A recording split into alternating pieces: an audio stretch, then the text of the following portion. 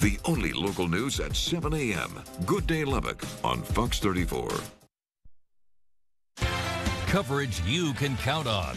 This is News Channel 11's Good Day Lubbock on Fox 34.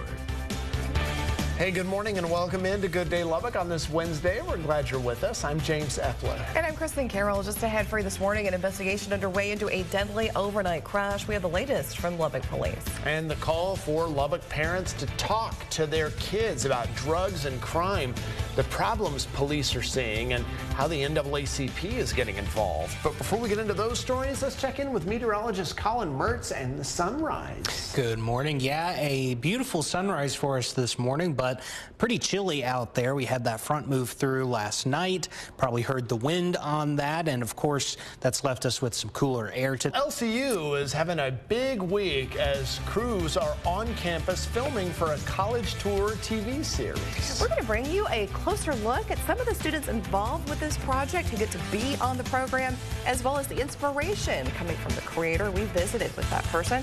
We'll bring you that story when we return for more of Good Day Lubbock here on this sunny start to our Wednesday morning. We'll be back at 9 a.m. Watch Kristen Carroll weekday mornings on Good Day Lubbock. Coverage you can count on. This is News Channel 11's Good Day Lubbock on Fox 34.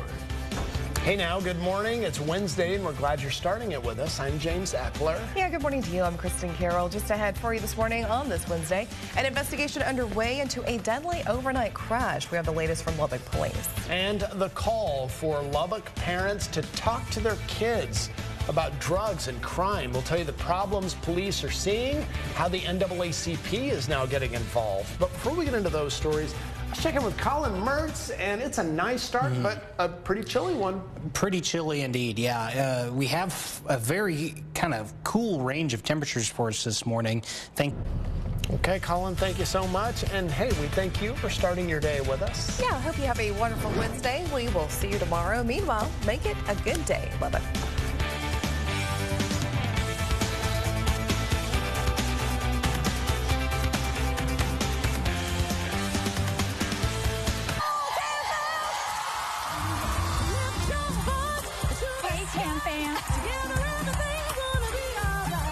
Shout out to the Tam fam. Let's go. Woo, let's talk about it. You are just too much, Tamron Hall.